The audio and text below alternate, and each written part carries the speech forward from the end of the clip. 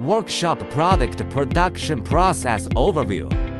Come on, let's go ahead.